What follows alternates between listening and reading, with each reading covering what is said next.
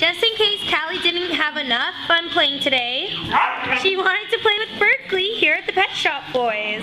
She's made her way through all the friends and Berkley's just arrived this afternoon. So he's ready to play and she has accepted his play request.